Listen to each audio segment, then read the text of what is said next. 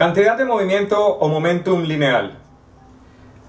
Hay una masa, digamos que esta pelota tiene entonces una masa y si ella está quieta, está detenida, su velocidad es cero, su momentum lineal, su cantidad de movimiento es cero.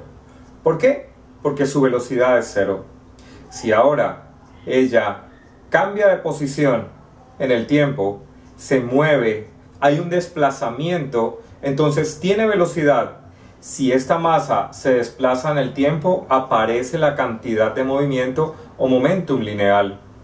Voy entonces a eh, explicar esta relación ya un poco más matematizada. Tengo una masa m que se mueve a una velocidad v. Entonces, su cantidad de movimiento, que vamos a simbolizar con P minúscula, es igual al producto de su masa por su velocidad. Es el producto de masa por velocidad sería su cantidad de movimiento o momentum lineal.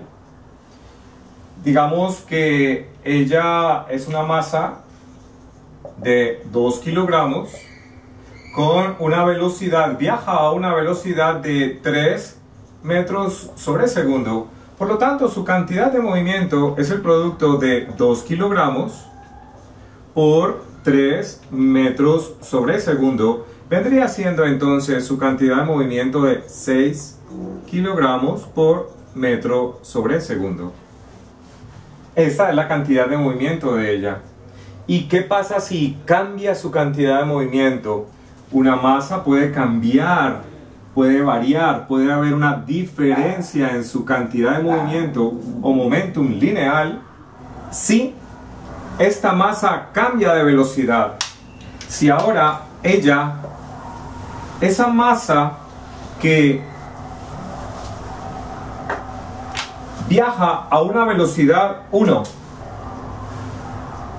pasa el tiempo y ahora esta masa, la misma masa, va a una velocidad 2.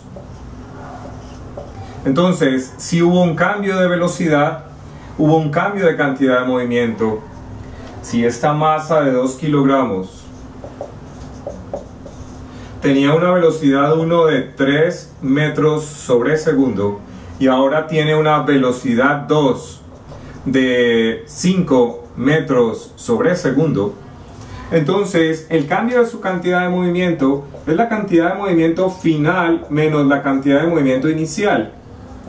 Y esta cantidad de movimiento final es la masa final por la velocidad 2 menos la cantidad de movimiento inicial que es la masa por la velocidad 1.